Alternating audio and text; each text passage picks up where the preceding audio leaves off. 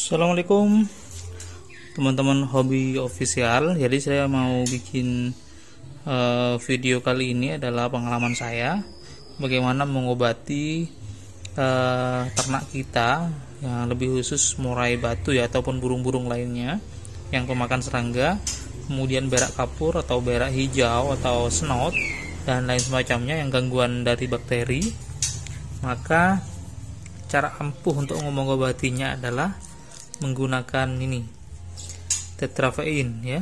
Jadi ini sebenarnya obat untuk ayam cuman kita bisa pakai untuk unggas lainnya. Nah ini ada indikasi menyembuhkan penyakit no CRD, flu kolera, hijau, merah hijau ada float typhoid ada karena cacing ya atau karena bakteri ada polarium berak putih dan penyakit unggas lainnya. Nah di dalamnya saya kasih lihat nah ini nah mau tahu harganya teman-teman ini kalau langsung satu botol seperti ini kisaran 50 ribuan ya. 40 sampai 50 ribuan. Nggak tahu tergantung wilayah teman-teman. Nah di dalamnya adalah kapsul seperti ini. Hanya saja jangan terlalu banyak ya karena ini agak bau ya untuk unggas. Dan pengalaman saya ketika terlalu banyak mencampur bubuk uh, kapsul ini maka si burung kurang doyan. Jadi memang harus sedikit saja ya komposisinya. Jadi ini bubuknya saya masukkan.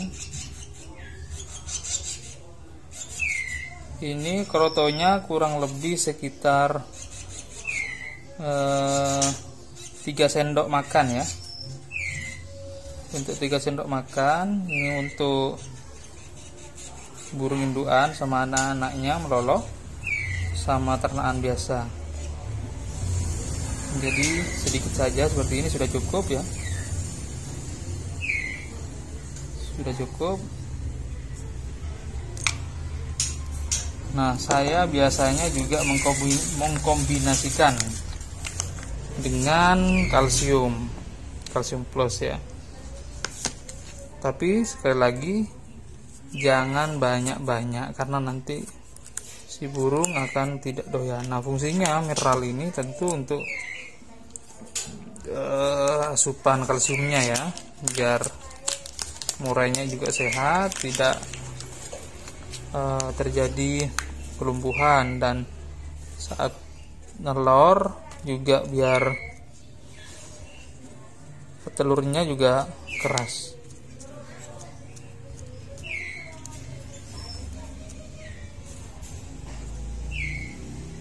Sudah ya sedikit aja.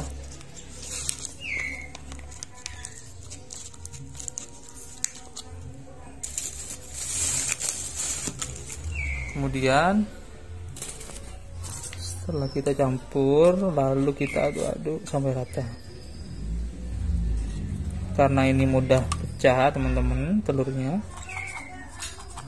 Kita kocok-kocok aja ya.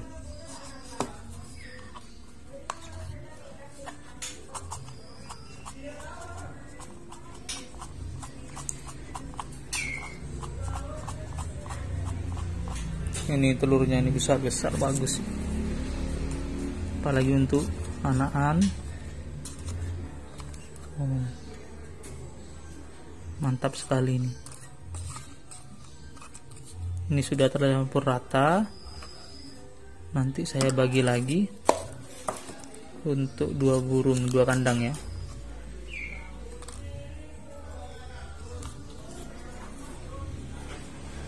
Satu kandang hanya isi satu betina dan kurang doyan sama keroto akhirnya saya kasih sedikit saja. Karena sering gak dimakan ya. Saya kurangi. Nah ini untuk induan. Oke. Ini induan saya yang ngeloloh anaknya ya anaknya tiga di dalam kandangnya. Jadi saya ngasih keroto untuk pakannya sama nah, ada jangkrik juga. Cuman kalau kroto ini karena juga agak sedikit mahal di daerah saya. Jadi saya ngasihnya eh, sehari sekali itu pun pagi hanya sedikit saja segini. Wah langsung jantannya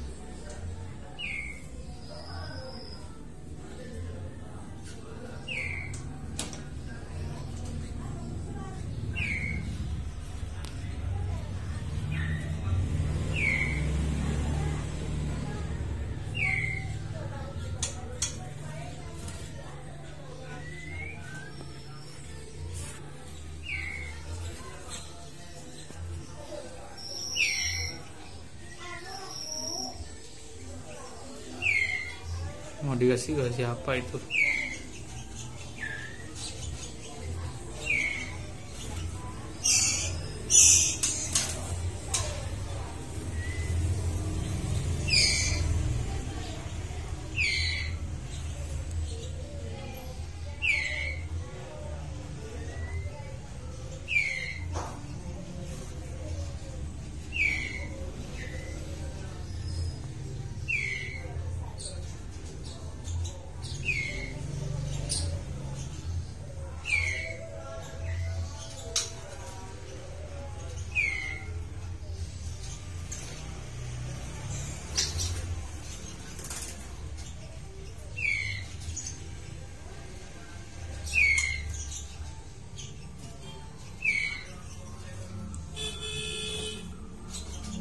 jadi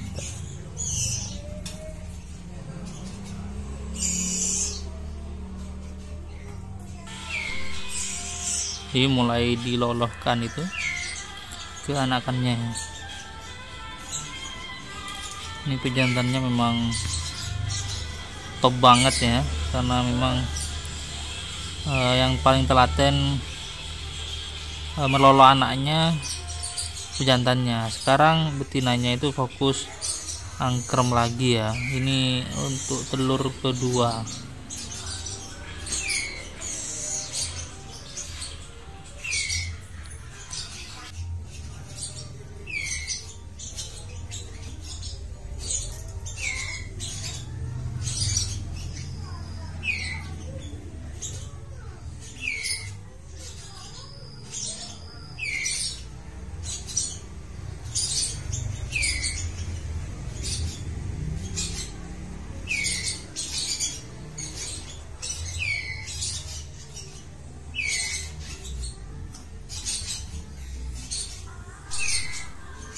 itu banyak sekali yang diambil di mulutnya itu ah diloloskan jadi caranya agar dia suka makan kroto yang sudah dicampur dengan uh, obat tadi uh, sejak pagi memang tidak usah dikasih jangkrik yang banyak makanan yang lain ya.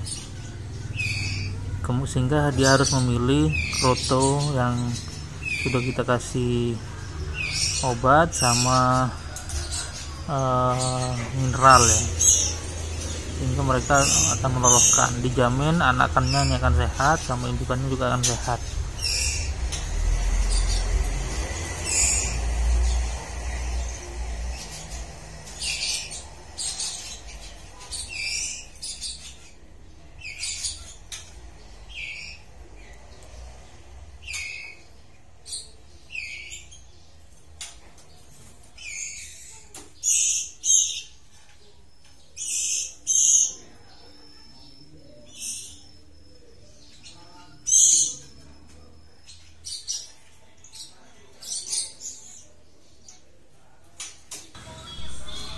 Terima kasih buat teman-teman semuanya yang sudah nonton video ini sampai tuntas.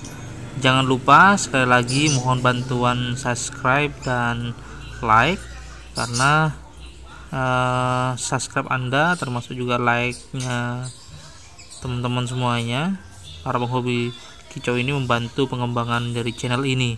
Jangan lupa kami akan terus memantau dan mengupdate seputar dunia murai batu. Terima kasih. Wassalamualaikum warahmatullahi wabarakatuh.